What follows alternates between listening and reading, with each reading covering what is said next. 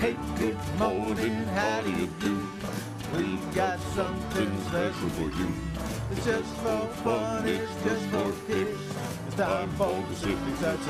All right, here we go. Number six. There's a pretty good chance you haven't tried fried bologna casserole. It was popular during the Great Depression because bologna was uh, readily available and pretty cheap. Uh, so here's what you need to make it this weekend. Uh, or for Mother's Day, which is right around the corner. You're going to need some bologna, of course. Then you're going to want to get some cheddar cheese, uh, some beans, uh, canned chili, onions, uh, garlic, and peppers. You need me to slow down, Larry, so you can write this? Or you, you all right? You lost me at bologna. All right. now, if you like, you can add a little bacon if you want to get wild and crazy. But uh, you can find the recipe online. Just use that Google thing. It's a salty, savory plate of deliciousness. Did anyone ever eat fried bologna sandwiches? well, Oh, delightful. Yeah, it's good. Fried minced ham? Yeah, Fried Yeah, bologna's just good. that all Oh, the fried time with onions. yeah, Yeah. don't knock it. Number five, opposites attract, but if you want a long lasting relationship, you and your partner should have some key shared values. A new study says you and your partner should share the same political and religious beliefs. You should have similar IQs and education levels. You should have the same attitudes towards substances like alcohol or smoking. Sure. Relationship scientists say these are the deal breakers. Boy. Hmm. So don't marry someone smarter than you, or don't marry someone Well, I think than you want to marry someone smarter than you. I mean, the Wonderlic twins here, thank Yeah. goodness we hooked Yeah. up with someone who's got some brains because it's. Hey, speak for yourself here. I, mean, I, I don't mind in some ways, but I, Hey, I'm apologies. clearly, apologies. Yeah. sheesh.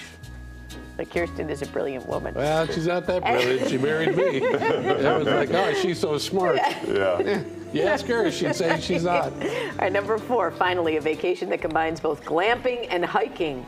For $5,500, you can stay at MT. oh, wait a minute. Keep oh, I going. thought it was. Nope. You can stay at MT as well. Anyhow, back to the Wonderlic thing. you can stay at Mount Everest Base Camp. Excuse me. Eh, I didn't know. Yeah, yeah, I thought it was a in short list. luxury What did you tent. think MT stood for? I don't know. Yeah. It's the six at six. It could be. You stay in a luxury tent with a queen size bed, Persian rugs, a charging outlet for your phones or other devices, and you'll have access to unlimited cappuccinos, food cooked by professional chefs, an electric blanket to keep you warm all night, and you'll also take part in a climbing clinic. Oh, a clinic. How cute. You can learn how to hike, climb, and rappel down the side of a Oh, cliff with yeah. experts guiding you every step of the way. You won't climb Mount Everest, but you will climb a much smaller mountain that promises spectacular views of Everest. Huh? Could you imagine the poor Sherpa that's got to deal with these jackasses for a week? Oh, Lord. Uh, number three, time for another another example of the toys that didn't kill us, made us stronger. Like the Snack Time Cabbage Patch Kid dolls from 1996. They were cute, they were cuddly, and they were hungry. You'd feed them little snacks and they would gobble them up with their mechanical mouths. Their jaws had tiny little motors inside, and here's where the problems came in. The dolls couldn't tell between snacks and children's hair or other things like fingers. Uh, they were recalled after several injuries were reported, but according to Mattel, less than 2% of the dolls were returned. There you go. So they're still out there lurking and hungry in somebody's basement. Yeah. So cute, though. Yeah, they are. All right, number two, one word, pleats. They're a BDRN. That's a big deal right now. Uh, and I'm living for the long pleated maxi skirts with a cozy cardigan and some sneakers. It's giving hipster vibes meets granny vibes. And I'm here for all of it. And don't even get me started on the uh, pleated statement pants. Of course, this look isn't for everyone. Some people despise pleats. I get that, so I won't try to win you over. I will say, though, if it's been a while, just give pleats a try. You might like what you see. I got lots of uh, looks Oh, yeah. on my blog, Paulie's Pleats. That's pleats with three uppercase T's at the end.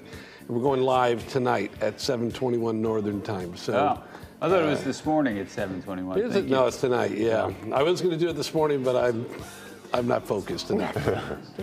Pleats, I think there's complications because when you wash them, then you gotta Iron 'em. iron them, and Mm-hmm. then you gotta keep them all straight. So it's a little bit more work than what you're used And to. they can add volume where you They don't want can, volume yeah, to for be. you hefty Yeah. folks. Yeah. Be it's- careful. You know. Number one, here's one to think about. How old is too old to trick or treat? Is there an age limit, or is it the time of year when everyone gets to be a kid? Okay. Let's discuss. I think as long as you're dressed up. You think that's it? Yeah, what do I care if I'm giving away a piece of candy? Yeah. you're right. Who are we to judge? It did get to the point though where the high school kids were coming to the door with no costume. Yeah. I mean, I Yeah. think they're asking like adults. Oh. Like Sarah Ginger parties. Oh yeah. But that's trick. She's not trick or treating. She's having a costume oh, is that party. it? Was it Yes. too old for trick or treating? Yes. I I'm think not that listening there to should the be a show. I'm mandate that if you're going to go, you have to put in the effort to thought it have was an just outfit. dressing and not anything half-assed. It's got to be a full. Listen, I don't care. Whatever gets rid of that candy and stops kids from knocking on my door Yeah. soon enough is good for me. Yeah. All Have right. fun, kids. Yes. That's a six at six.